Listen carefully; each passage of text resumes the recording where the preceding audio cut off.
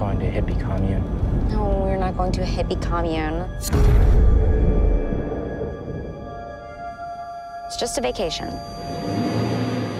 I'm really sorry about this. It's okay. Because I thought it was gonna be like fun in the mountains, not weird, creepy energy house.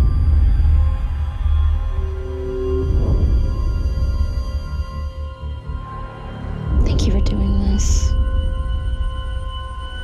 and you don't really want to be Maybe there. Maybe it'll work. Healer